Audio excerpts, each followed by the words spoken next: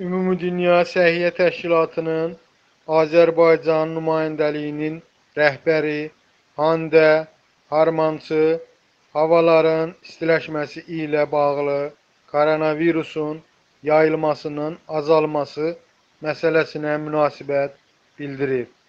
APA'nın xəbərinə görə Hande Harmançı bildirib ki, hazırda bu sualın cavabı bilinmir. O qeyd edib ki, yaz aylarında koronavirusun azalacağına ümid edir. Bu yeni virusdur. Necə davranacağını bilmirik. Ona görə də gözləyib görmək lazımdır. Hazırda isti ölkələrdə də koronavirus yayılıb. Ona görə insan əmin ola bilmir ki, havalar qızdıqca virus yox olacaq ya yox. Bu sualın cavabını hələlik bilmirik. Əmin deyilik.